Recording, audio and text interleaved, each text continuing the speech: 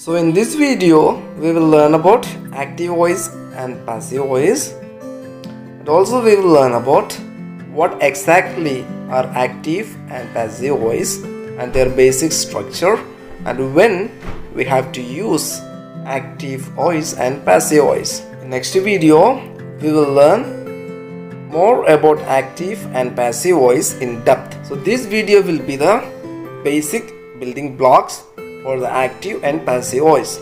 So watch till end as it is very important part in grammar. So let's get started. What is active voice? In active voice, subject performs the action and object receives the action. For example, I love my friends. So in this sentence, what is the subject I and what is the action here? Love. And who is receiving that? That is my friends. So in the active voices, the sentence structure is straightforward. That is subject plus verb plus object. Remember this structure properly. So now let's learn about passive voice. Passive voice is more interest the object or the person experiencing the action rather than the person who is performing the action. The order is reverse here. What does it mean? So let's see with the same example and understand it clearly. I love my friends.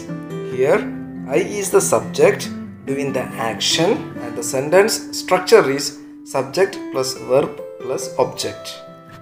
Passive voice, object takes the place of subject and the subject takes the place of object by being added to it. So it will be like object plus third form of the verb plus by plus subject. Here we use third form of the verb. So when we convert the same sentence, it will be clear for you. My friends are loved by me. Here, friends are object and loved is the verb's third form and me is the subject. Here, my friends are receiving the action of love by me. I hope you are clear about the sentence and the general sentence structure between two. Please note that both the sentences I love my friends and my friends are loved by me are exactly same in the meaning.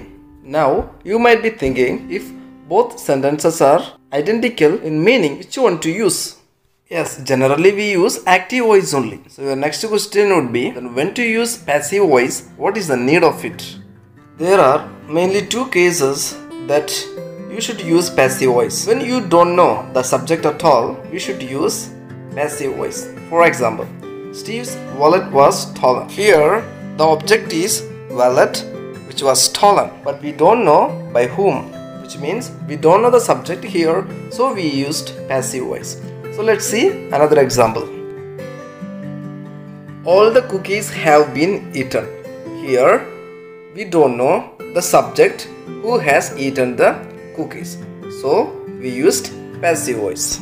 Let's look into the next case when we can use passive voice when you want to give more importance to the action rather than subject who performed the action. Now let's see an example. Solar plant will be built in Gujarat. Here we give more importance to the object solar plant rather than the subject who is building it. Next example. The road is being repaired. Here also we are not interested in who is repairing the road but we are interested in the repair activity. These are the main uses that you can use passive voice. That's all in this video about active voice and passive voice. So let's quickly revise what we have learned today. Firstly, we learned about active voice. Here the subject performs the action and the object receives the action. The sentence structure subject plus verb plus object. Then we learned about passive voice here, more important has given to the object in the action that is being performed rather than the subject who has performed the action. The sentence structure of it is object plus third form of the verb plus by plus subject. Remember, these are just a general structure and the modification of the structure based on the tenses which we will learn in next class. Okay. Then we discussed about when to use passive voice. You can use passive voice when you don't know the subject and when you want to focus on the action rather than who did it.